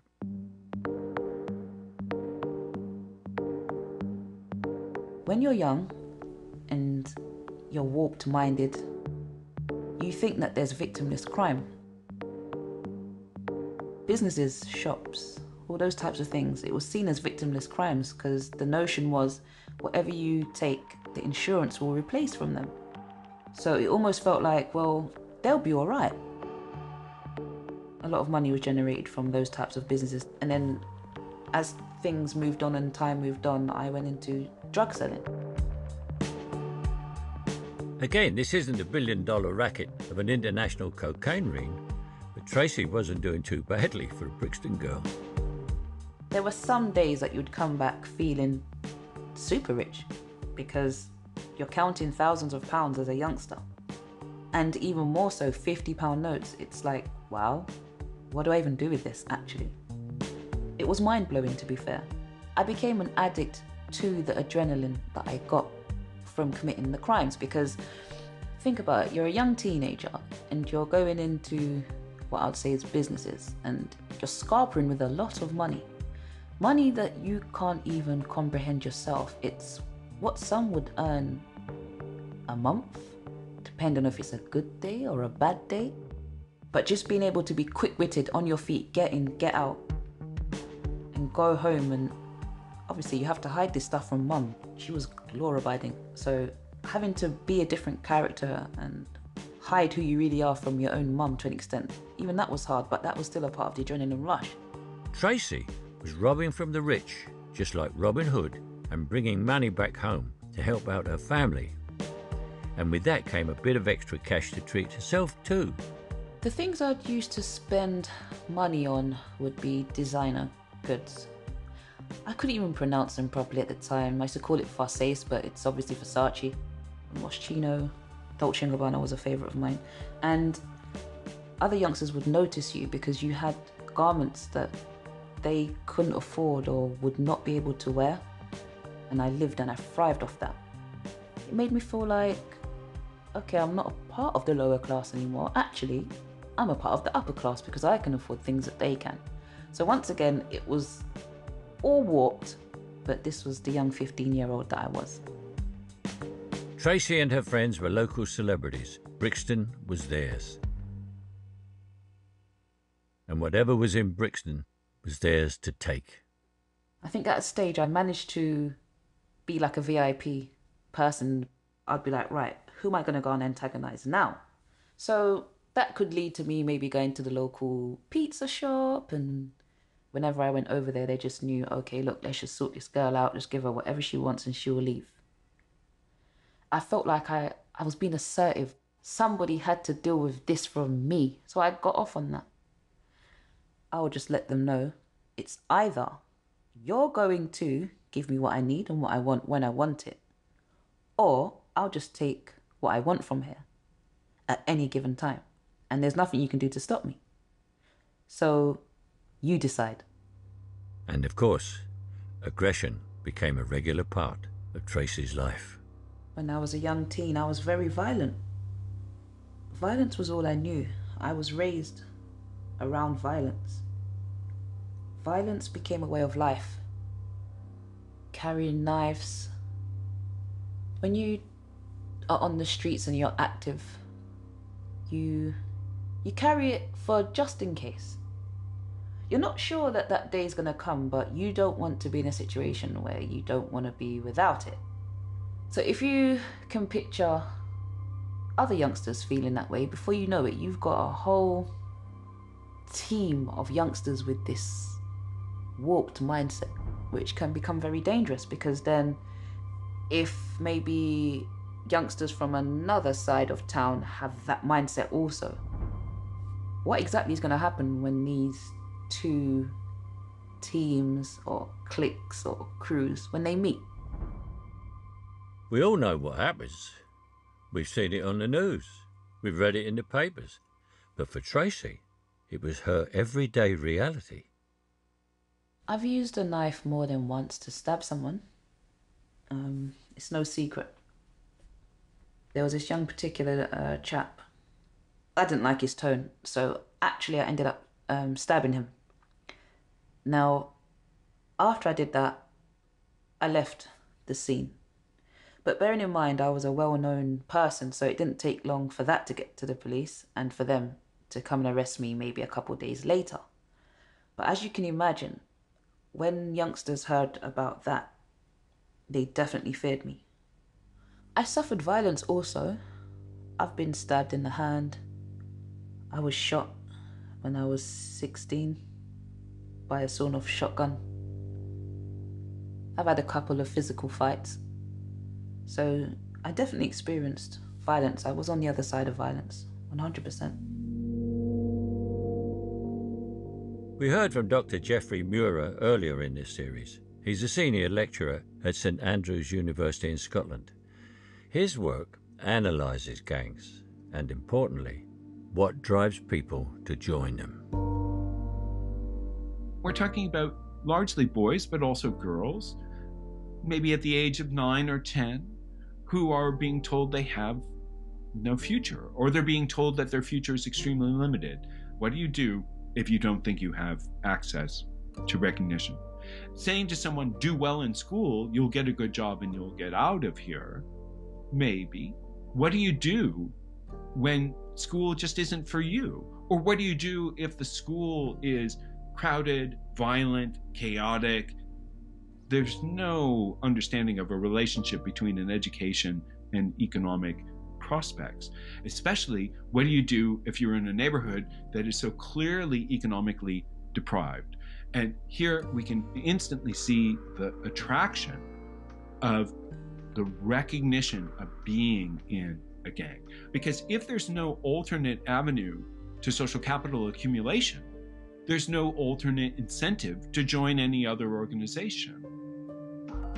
Social capital is absolutely essential to understanding why gangs persevere, why gangs reproduce, why gangs continue, and why intervention programs that simply say turn away from the gang aren't successful.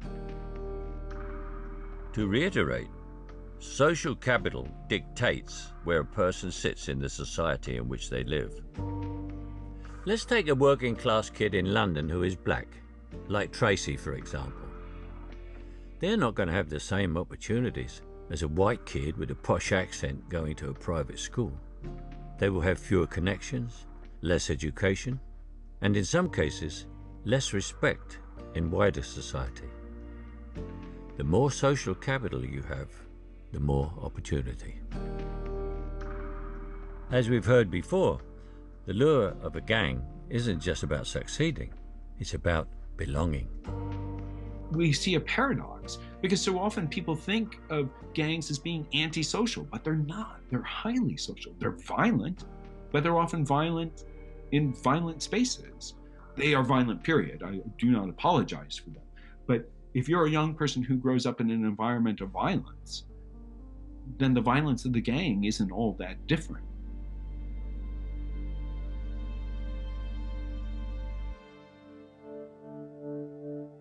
My anger came from having to be in a household where my mum was a manic depressive. Now they call it bipolar. Back then they didn't have the right word or maybe terminology or even didn't understand it because this was a good few years ago. But mum was the sweetest lady ever when she was of sound mind. But as soon as she had a mental breakdown, she became the most violentest lady that anyone could ever witness. And even as a youngster watching this character turn from one being to another, it threw me. There was a time where mum had to be sectioned by her doctor, and the doctor brought the police for reinforcement, and it took 12 officers to contain this one woman that was slim. Anytime mum felt like she was going to be sectioned or her back was against the wall, the first thing she would do would be to go and get a knife from the kitchen drawer. So I grew up thinking that if you are in a situation where you're out of control and your back's against the wall, you need to protect yourself, and in doing that, you'd need a weapon, which would be knives in the kitchen. But it wasn't just Tracy's mum who scared her. My father was also incarcerated. This is my biological father. So he's been in prison for like 35 plus years. So I had a stepdad in the home.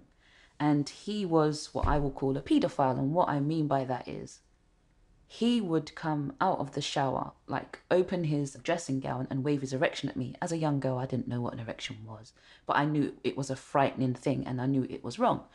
And I started to put knives under my pillow, thinking that if there's a day that he comes in here into my bedroom when I'm trying to sleep to try and touch me, then I'm I'm fully well gonna attack him. So I just felt like life's dealt me a bad hand. And I just took my anger to the streets. Tracy's growing up in a terrible situation, feeling scared, angry, and alone. She sees gang life as a way to make something of herself, to be a bit more powerful, to get some respect and some cash. She's not that different to lots of people we've met in this series. But there's an important difference at play here. You see these kids? They're a different type of gangster. Dr. Anthony Gunter is a criminologist who has specialized in violent crime for the past couple of decades.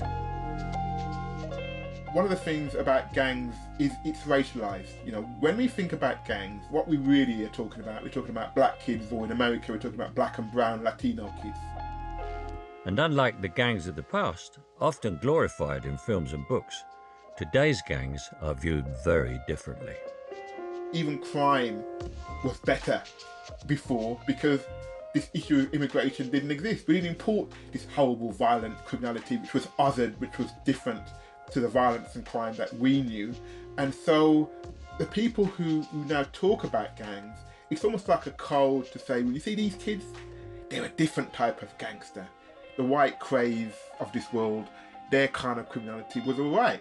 So when we talk about gangs today, you know, they haven't got the same nice white values of these criminals. They have black values, and these black values are just they're just mindless, violent thugs. But of course, these kids are now born here. They've got British passports, but we can still other them and say they're a problem from their behaviour and separate it from to say, look, they're criminals, fine. But look, we've had criminals, but they weren't like them. Gang expert Jeffrey Murer. I think that there is a, a, level of racism in the way that both the police, the public, and the culture industry deal with gangs. Who are the scary gangs? Who are the threats? Who are the ones that need to be dealt with immediately? I think it comes down to public perceptions. And some of those public perceptions are the ways that we might see different groups treated for a very long time. So in the United States, just maybe to use the ready made example, because it's so popular in so many films, Italian Americans were not seen as American throughout the late part of the 19th century and into the early 20th century. Italian Americans were largely seen as threats, whether it be as a racial threat or a labor threat or an economic threat, uh, but they were definitely not seen as American by the 1970s, Italian Americans are understood to be American.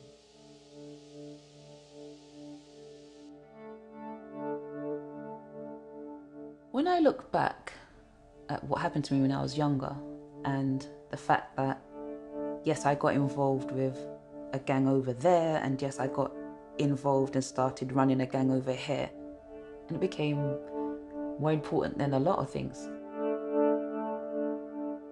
Tracy started to leave her old life behind as she got more and more sucked into gang life. Even friendships were lost along the way because some of my friends weren't cool with what I was doing. So I was like, well, Sodja, off you go. No one needs you anyway. Which is sad. I made the bad choices I did because I felt like, if I'm really honest with you, I didn't think that I would live to the age of, I don't know, maybe 30.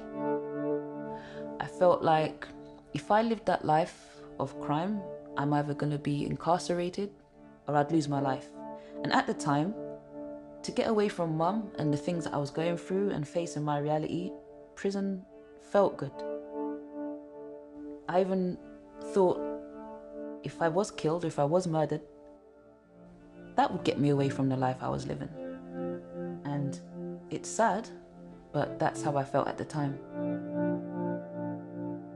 Tracy couldn't see a way out of the life she was committed to, and as her life reached rock bottom, she even attempted suicide. I took an overdose and I went and laid down in my bed and thought that I just won't wake up. And I don't need to explain this to anyone. And it'll just look like she just drifted away in her sleep. And I just thought the world would be a better place, mum would be a better person for it, and my siblings, you know, they'd understand. But you know, sometimes you can want for something to happen, but it doesn't go your way because God is the best of planners. So I woke up in hospital, and um, there was a doctor there saying to me, you know, I need to talk to you because you're so young. Um, you know, why did you try to take your life, etc., etc. But they also told me that we've ran some tests and you're pregnant. And I was like, what did you say? They were like, you're pregnant. I was thinking to myself, oh my God, what am I going to do now? Not only have I not successfully taken my own life, I've brought another life into the world, or about to. So I thought, all right, look, um, it's time to just sort yourself out. And I just knew I've got to give this child the best life that she can have. I can't let the cycle repeat itself. And from that moment, I decided that I was going to be a mum. I decided I was going to be a mum away from all of that. And that's what made me leave all of that stuff behind. Tracy's come back from the brink of death, and the new life growing inside her has finally given her the motivation to change her own life, to leave the gang behind. Tracy's tale is really a story of our time. We hear a lot about gangs today in the papers, on social media, about knives, about violence, about drug running, particularly in the big cities. And it certainly feels like gang violence is on the increase. But is that true? Previous decades, I think the country was much more violent. If you talk about the 1970s, 1980s, and the media didn't report about it, but if you lived in particular working class communities, violence was everywhere. It wasn't necessarily a gun, but it could have been a knuckle duster, it could have been a baseball bat, it could have been a razor, it could have been a brick. You know, violence was everywhere. It was commonplace, but it just wasn't necessarily reported in the news media because maybe there wasn't as many news outlets as there are today. I mean, when I was growing up, we had, you know, three and a half channels. You know, you had ITV, BBC One, and then you had BBC Two from the evening. There wasn't really that many news outlets where you would have this news cycle. So, you know, I think that probably says more about violence than violence itself. It's the same violence as it ever was. But when Tracy does it, we call it gang violence. Although talking to Tracy, what's really interesting is that she hardly ever uses the word gang. I've spoken to police officers. This whole gangs debate is a pile of nonsense and it's taking down a rabbit hole that doesn't exist. And I've actually spoken to police officers who say they don't agree with this whole gangs discussion. And we have to remember that the Metropolitan Police Service, or any police service, is about getting resources. So if you say there's gangs, you have resources attached to it internally. And so, if a violent crime happens in London, in the Elephant, in Brixton, other areas with a large working class black community, before the source of the crime has even been confirmed, often police will send a specially designated gang unit to the scene. Why would you call in Trident Gang Command? You don't know. It could have been the, the shooting could have been a guy shooting his wife, shooting his girlfriend. It could have been a guy shooting someone over anything. Why are we assuming it's got anything to do with gangs? Surely you do your investigation and then you find out it's gang related and then you take it from there. But they don't. As soon as they they think it's a certain area where there's black people, so if it's Hackney, Brixton, and there's a shooting or stabbing, they get in the gang unit. But it might have anything to do with gangs. One area of gang warfare that we often hear about in the UK news is the postcode wars. Gangs from different areas of London engaging in violent fights with each other. If you have this idea of postcode wars, they say, so someone from one area of London fights someone from another area of London, okay, but that's always been us territoriality. You know, when I was at school, my school would fight the school down the road. You've got football hooligans in the UK or soccer hooligans for the international audience. And if you support Manchester United, you know, you're going to be fighting with supporters from Manchester City. Are you a gang or you football hooligans? So what makes a gang and what makes a football hooligan? And the only thing that separates all of these other types of organised criminal activity from a street gang is the fact that one is black, one is racialised. So violence has always been territorial. But certain territories are changing. These poor neighbourhoods attract people who can live in them, who are poor people. And the opportunities that these poor people have tend to be around criminality, crime, underground economy. But previously, these poor communities could move up and out, which would then leave space for new poor communities to come in, and then they would do the same.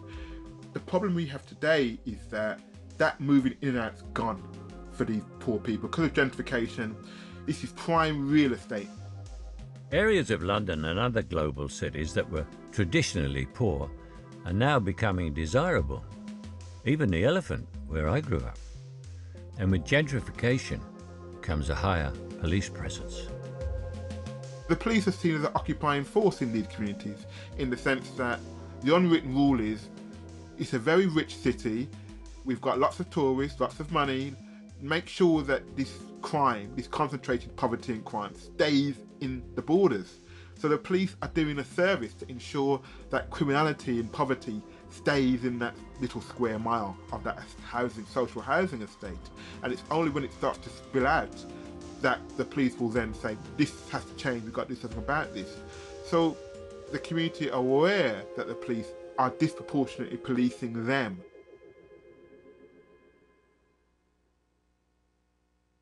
Organised crime, like every other major business today, is global. Jeffrey Murer.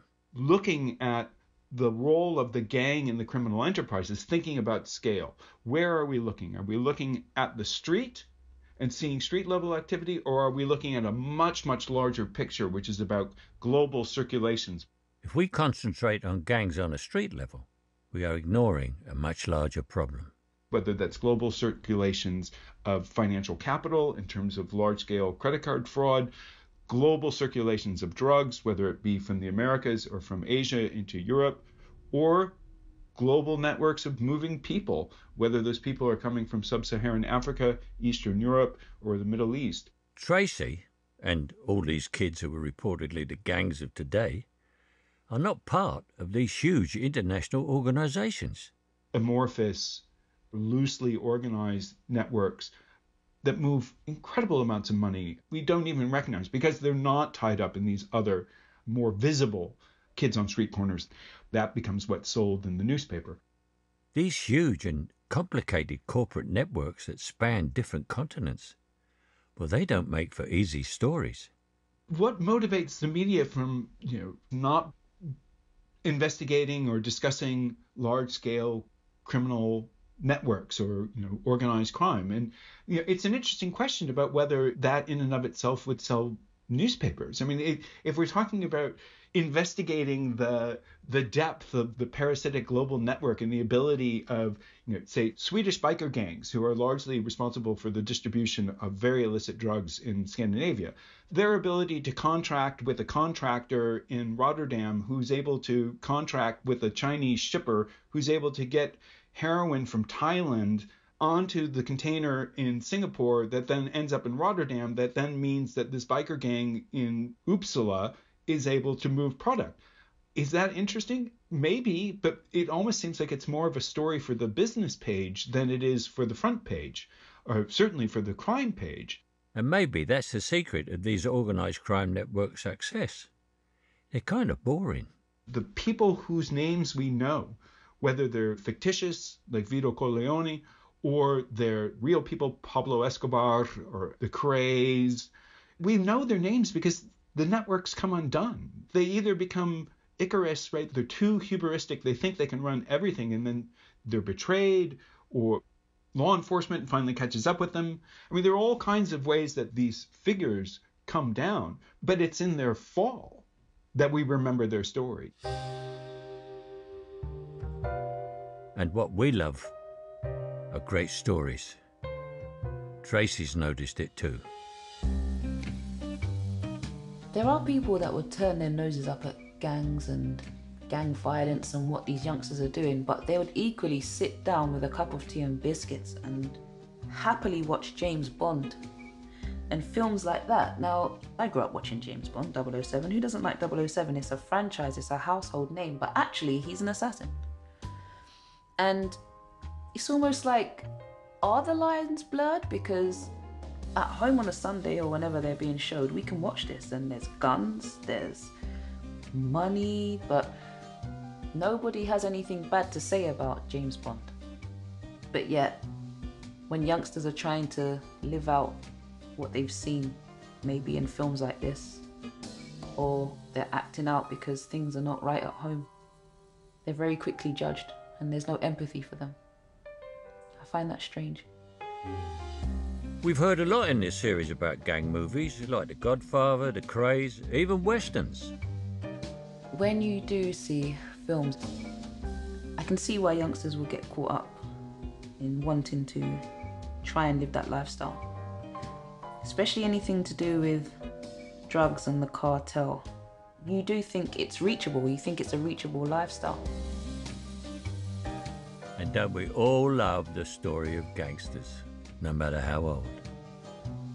Is culture in part to blame for our fascination with gangs? Am I, in my depiction of gangsters, villains, and violent characters of all stripes, partly to blame? Our film and TV expert, Ellen E. Jones. Cinema has a very complicated relationship with violence because it is a visually exciting spectacle and a psychologically exciting spectacle, and we're very uncomfortable admitting that to ourselves. the story arc is traditionally always about the rise and fall, and that means you get to have your cake and eat it as an audience member. You get to see all the glamour and the excitement of the amassing of power and wealth, and then you get to feel morally vindicated and justified when they get their comeuppance in the end. The devil has all the best tunes. Since John Milton wrote Paradise Lost and made Satan the star of it, we've been fascinated by charismatic villains we want to see them rise, but we also want to see them fall as well. That's about resolving that conflict between identifying with a criminal and disapproving of them at the same time. This is a very relatable human story because all of us die in the end. so we all have our fall in the end. But not all gangsters fall in a blaze of gunfire. Some manage to reinvent their lives, like Tracy Miller. We left her lying in a hospital bed, deciding to leave her life of crime behind, focus on being a mum, and start giving back. I felt a sense of relief when I made that decision because I felt like I could finally be me, the person that I really should be. So I made that conscious decision that there must be a way that I can use what I've been through for some good. After Tracy turned her life around, she wanted to do what she could to help others. So that's when I started to do youth work. And it was nice. It was nice to be able to engage with a young person, not dictate to them, but engage with them and let them know the life you're living, actually, you're not going to have anything to show for it in years to come and you can be so much more. And youngsters, they're so quick to say, well, what do you know? You haven't lived it. To be able to turn around and say, well, actually, little do you know, I lived worse than you did. And I'm telling you, 100%, you need to change.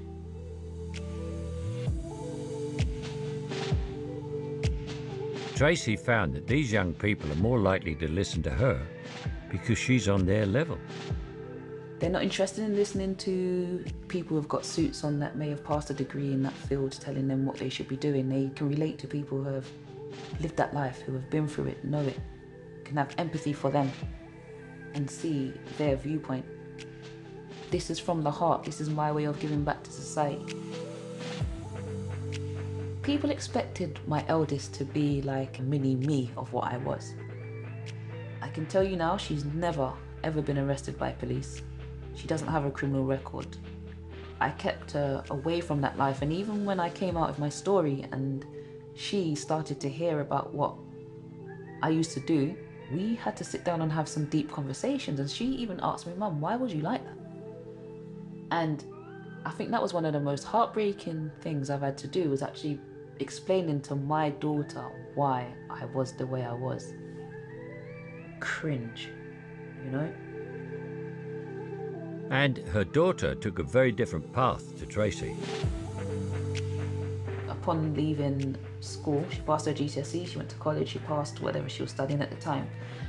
I'm proud of her because she accomplished something that I didn't do. She stayed on the straight and narrow. I understand the attractiveness of being in a gang myself. When we were kids, we didn't feel safe, and we banded together for protection and we joined a gang. And society didn't understand us then, and it doesn't understand kids today. And if people don't understand the fundamental reason why people join gangs and don't empathize with them, they're never going to be able to successfully stop gang violence. I don't miss being that angry young person that I was because I never should have been it. I shouldn't have lived that life. I know that. And even then, my conscience kept telling me, but I didn't listen. The only thing she does miss are the friends that she lost, victims of a gang lifestyle that, far from being glamorous or exciting, was full of tragedy and heartbreak. To be able to see what they would have made out of their lives and the children that they could have had, that's something to think about. But anything else, no, I'm, I'm glad I left it behind. And I just wish that I did that a lot sooner and even more so, just didn't engage in that lifestyle, full stop. This is the new me.